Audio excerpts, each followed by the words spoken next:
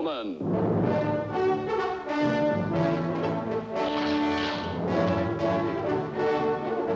Starring Chuck Connors.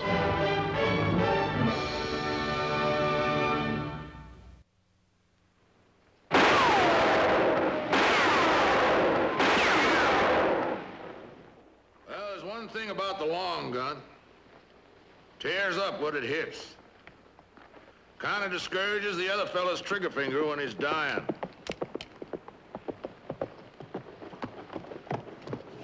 Holliver, Holliver, we got something working for us. North Fork's deserted. The marshal and most of the town people over in Twin Creek at some kind of centennial. Well, I don't know as I like that. Playing to empty seats, as the saying goes. Look, never mind about the empty seat. With most of the town folk over a day's ride away from us, the timing's perfect for us. Well, I kind of dispute that any time is perfect for killing a man, D.C. We'll ride in like always. Take it slow and easy. Pick our man, watch him do a bit of sweating tonight. Will you forget about the sweating for once, huh? And let's just play it safe. Look, you want your kicks, get it in the saloon when this thing's over. Well, you might call it a vice, D.C., watching a man sweat. But then again, you might say I'm doing a good turn. Letting a man live the night out after seeing John Holliver. After knowing the time has come for him to meet his creator. So let's go kill us a man. Do it real nice. So the folks at North Fork will remember us.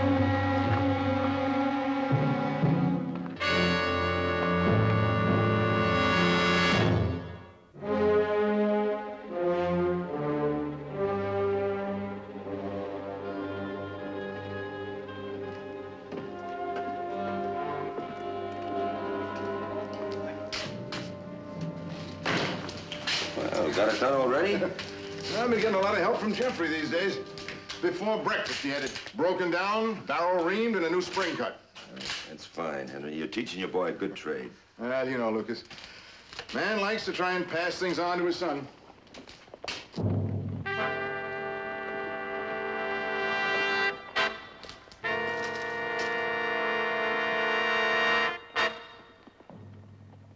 What's wrong? Holliver.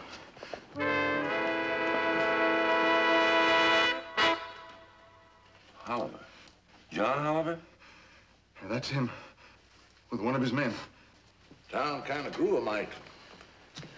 Seems more like a graveyard than a town. Oh, now that's just a state of mind, D.C. To a man whose conscience lets him sleep on an easy pillow, it's a nice, quiet, peaceful town. I've never seen him before. Heard about him, though, having his share of gunfights. You can't call them gunfights, Lucas. They're executions. Holliver's an executioner, so many dollars a head. Made us wait five years. But he meant it when he said he'd be back. Made you wait for what?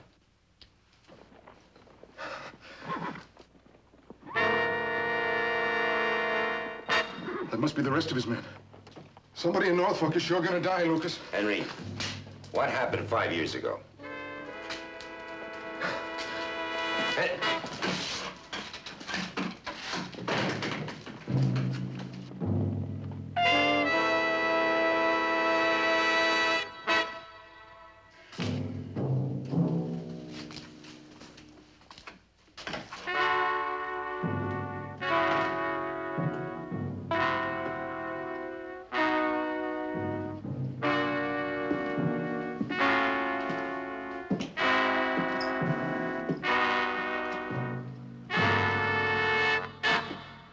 What's the matter, Eddie? Nothing, Lucas, nothing. Nothing, huh? You look like you got trouble. Well, uh, Holliver coming back here means only one thing. He'll be leaving us with somebody to bury. What happened five years ago, Eddie? Henry Waller was too upset to go into it. Well, Holliver came to town alone. Killed a 19-year-old boy. Picked a fight with him and then made it seem like the boy pulled his gun on him. Oh, it was murder, Lucas. Pure murder. What happened then? Well, we couldn't officially charge Holliver with anything, so we ran him out of town on a rail. I don't know how we ever got up the nerve, unless it was because there were so many of us and Holliver was alone. But we must have been loco that night. Knowing Holliver to be a professional killer, Why did he wait five years if he'd been wanting to get even? That's what I don't understand. I don't know, Lucas. I just don't know.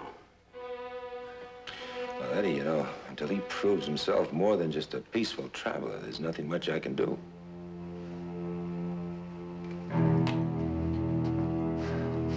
I just can't see waiting, not when the time's so right. DC, I'm thinking you're living only 50% of your life. That hurry-up way of yours taking half the spice out of your waking moments. We're taking too many chances lately. It's getting to be like a game with you. If you take life serious, DC, you're sure to come out losing. Be unhappy at the best.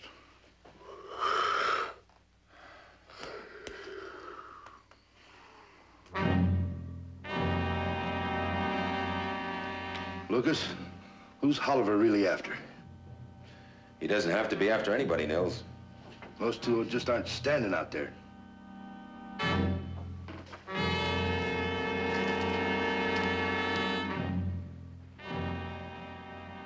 We're having a meet in my livery stable in 20 minutes. Everybody's sticking together on this. No harm in that. Good idea, in fact. That is, if Holliver is really here with his eye on someone.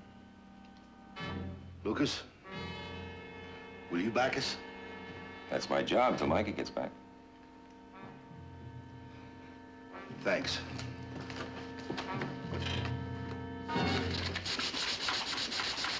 Don't bend too hard, Mark.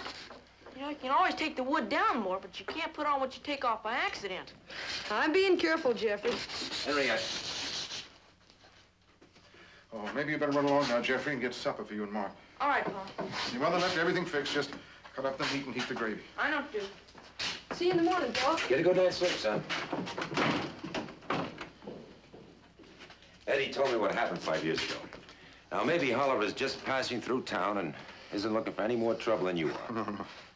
No, Holliver never come back to North Fork unless he intended to get even. What got into me that night? I knew he was an evil man, a killer. Why didn't I mind my own business? Henry, you can't blame his... Nils talked me into joining that night. He had no right to take advantage of me. I'm a sick man. I was sick then. It wasn't fair. Oliver was looking right at me that night when they were tying him to the rail. He'd remember me. I didn't think I was the ringleader. He, they knew I wasn't well. They knew it. They want to be so brave and ride a killer out of town on the rail. Why don't they go ahead and do it instead of involving a sick man? Henry, pull yourself together. What makes a man a coward, Lucas? Nobody can call you a coward for being afraid of a man like Holliver. It isn't only Holliver. I've always been afraid. From the time when I remember considering myself a man. Man. They make a mockery of the word. There isn't a person in North Fork who hasn't the greatest respect for their gunsmith. That's you. I said I was a coward, Lucas. I am. Nobody can blame a sick man A for... sick man. Know these pills that I'm always taking that Dr. Burridge gives me? Sugar pills. Well, I don't understand. Now, Dr. Burridge understands.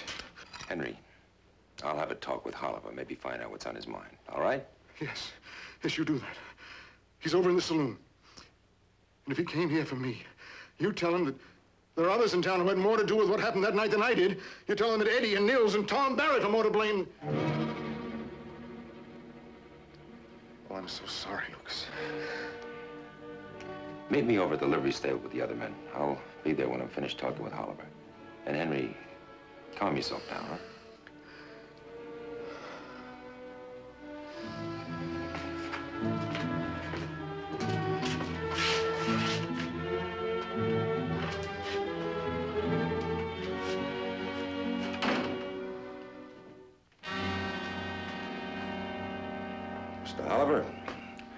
Name is McCain, Lucas McCain. Easy. Sit. Thank you.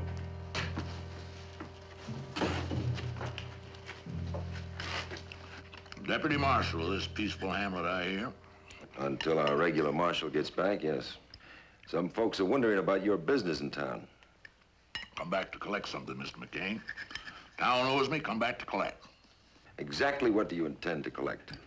Well, you might call it self-respect. As marshal here, I don't figure you'd have any objections to a man standing up for his self-respect. Depends on your meaning. An Affair of honor, sir. I'm here to ask satisfaction from the town of North Fork. A town is made up of people, Mr. Holliver. True. So is an old man who wants his name to go unsullied to the grave. I'm asking that a representative of this town meet me in the street at sunup. You know very well none of the men who chased you from this town is capable of facing a gunfighter. Rode me from town, Mr. McCain. Rode, not chased. Kind of like that record straight. I'm curious, Holliver. Why did you wait five years to come back here? Knew some of the folks would be worried I'd be coming back, Mr. McCain. Didn't see no point in having them stop worrying. Holliver, you're a man with a twisted way of thinking, so I'm not mincing any words. My advice to you is to forget this. Because if you don't, I'll be on that street when you walk out at sunup. Well, now, I didn't figure on facing no marshal, Mr. McCain. But if you see it fitting for you to take the town's part, I guess I'll just have to go along. My boys will be there to see I get a fair shake. There'll be other men behind me on the street, too. Better think twice before carrying this any further, Holliver. Mr. McCain, sun up.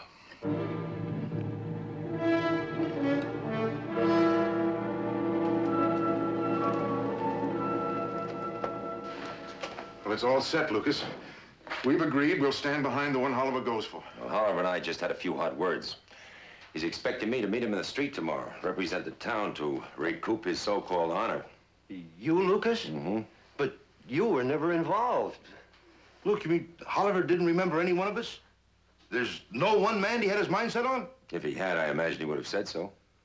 It was dark that night. I'll bet Holliver never had a good look at any one of us.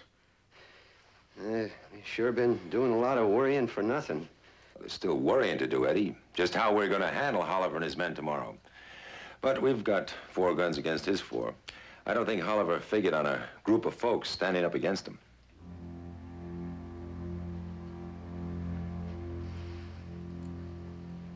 Something wrong? You said you had words with him, Lucas.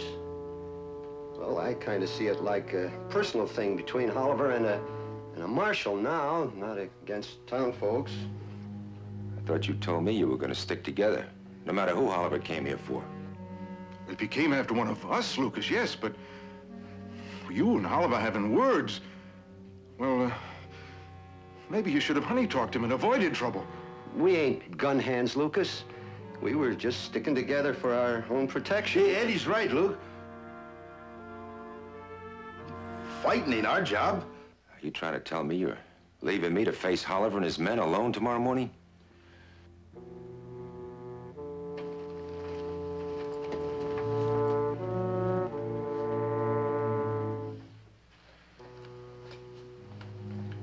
They can't be blamed, Lucas. Fighting isn't their business. Neither is it mine, Henry.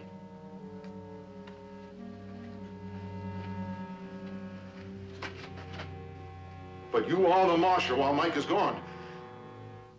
It isn't that I wouldn't help you if I could, Lucas, but... I'm a sick man. I...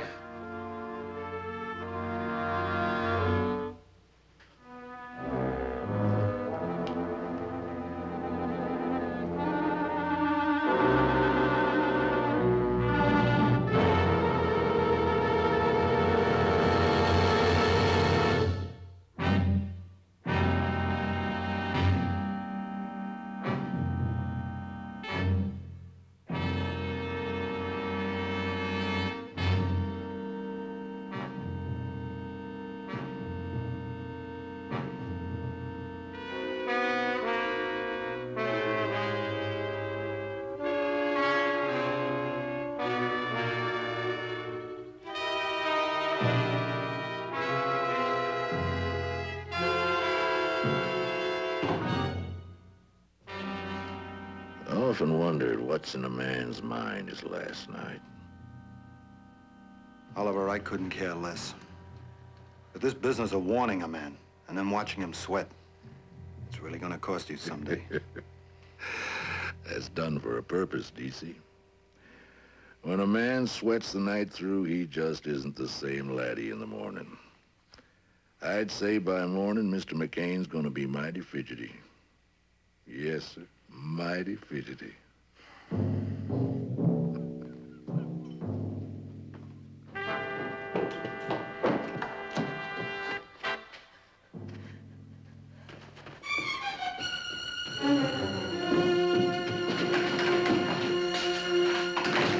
Well, I thought you and Jeffrey were getting ready for bed about now. Pa, Jeffrey and me heard about what happened, and I, I You must despise me, Lucas. Lucas, if I could help, if I really could help, I would help. I want you to believe that. Don't you think it'd be better if you stopped talking about it? It's a pretty difficult thing to justify cowardice. You're right, Lucas. Absolutely right.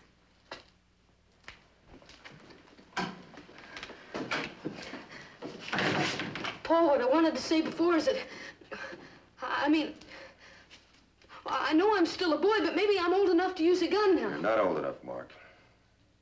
But Pa, I said said you're not old enough to handle a gun. Now get Jeffrey and go on out to the Waller house. And don't come back to town till I send for you. You understand? Yes, sir. Mark.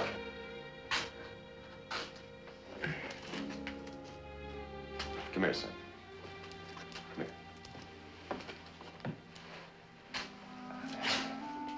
Someday you'll be standing alongside me, the two of us together, both of us men. But right now, you've got something coming first. A growing up time. Growing up time. You see, son, a man either has a time to look back on, or he doesn't have it. It's, uh, well, it's an awfully nice time. When you see an old man dozing in the sun and he looks like he's smiling, well, he's thinking back on his growing up time. Thinking back and living it all over again. Mark, I want you to have that time. I want you to be a boy while you are a boy. Don't want you doing man things. It's really very important. And then when you're a lot older and you begin thinking back instead of ahead, well, you'll know what I mean. Good night, son. Good night, Pa.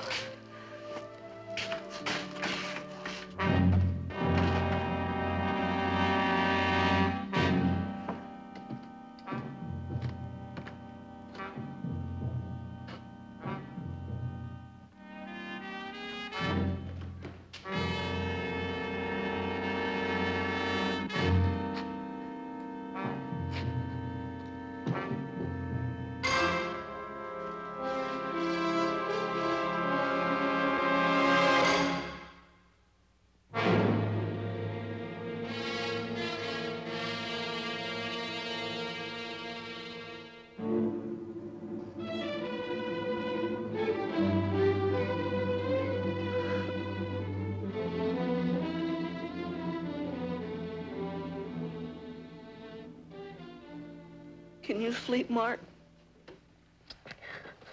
No?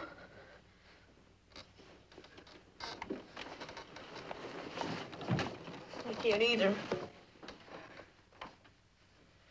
I guess we'll have to stay here till it's over.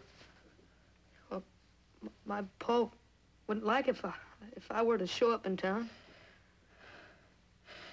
Well, you know, we can hear the gunshots from here, though. I guess so. Mark, it ain't like my pa's afraid. Well, he handles a gun real good. So it ain't like he's afraid. He's... I didn't say anything like that. I didn't say nothing like that, Jeffrey. It's just... Lee's so sick. I mean, if my pa was better, he would help your pa tomorrow and not leave him out there alone.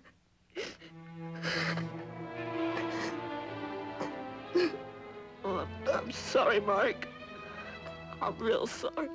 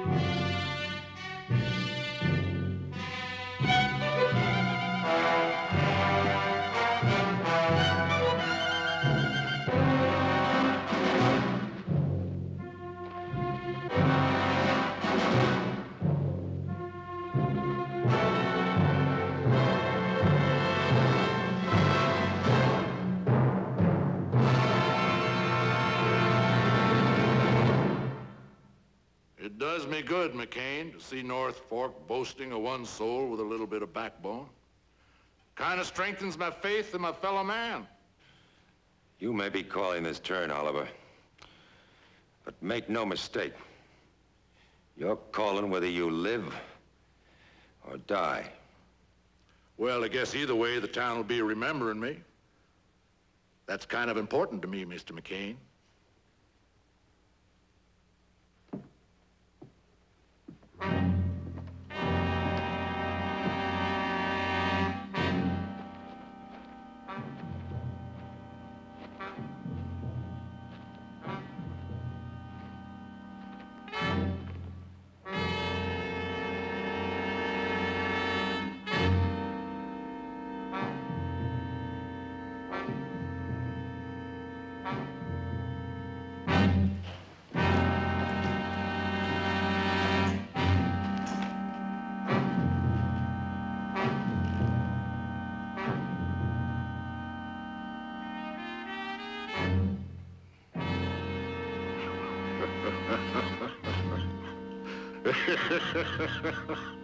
Looks like the sheep have grown horns. Well, I expect we might as well call the whole thing off.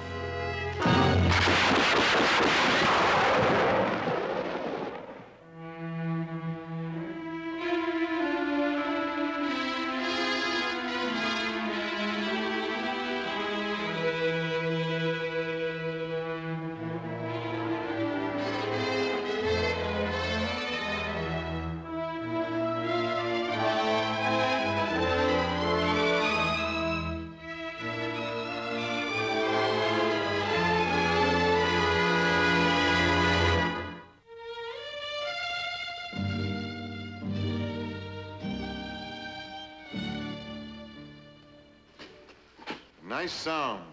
Waller and Son. It makes me feel kind of proud, Pa. No more proud than me, son. Waller and Son. Gee, Pa, that makes them partners. That's right. And that gives me an idea. Why don't we put a sign like that on our barn? You think we need a sign? Partner?